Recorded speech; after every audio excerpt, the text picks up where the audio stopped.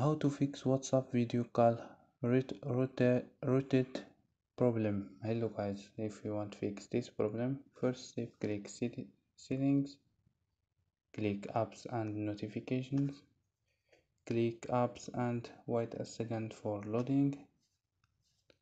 Scroll down for search app whatsapp uh, or click search and click whatsapp and go to force stop click ok and go to storage and click clear cache.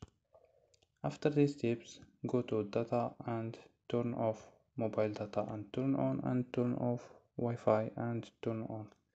So don't forget like and subscribe. Bye